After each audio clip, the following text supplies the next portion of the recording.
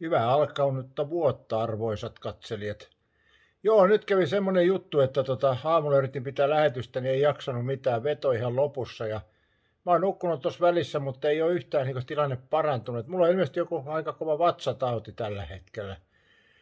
Eli veto on ihan loppu ja tota noin, Mä en tiedä, tulikohan se siitä, kun muistat, että mä kerroin, kun mä käytiin sitä kermaa, mikä oli paakkuuntunutta täysin, niin tota, olisiko se ollut sitten vanhaa kermaa tai jotain, mutta veto on ihan lopussa ja ei ole koronaa eikä mitä mä te, on testannut senkin. Tää on vatsatauti joku jyllää nyt, niin tota, tämmöistä on sitten.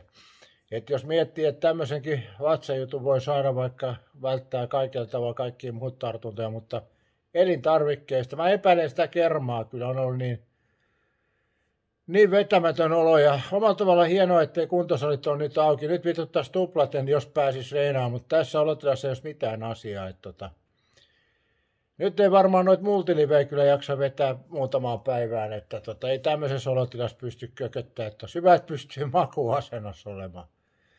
Ja kohta taas mennään vessaan, mutta tätä tämä on, näin alkoi hienosti tämä uusi vuosi, mutta tota, eihän tästä ole kuin suunta ylöspäin, mutta tällä mennään tällä hetkellä.